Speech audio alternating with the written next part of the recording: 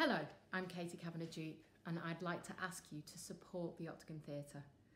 The Octagon is very close to my heart.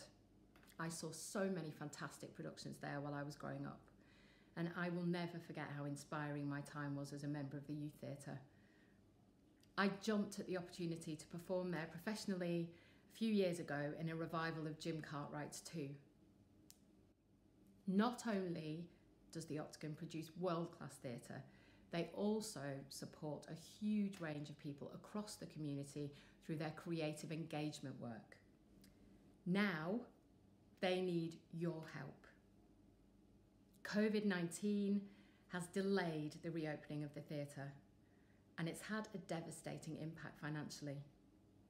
Please consider making a donation to the Octagon Future Fund.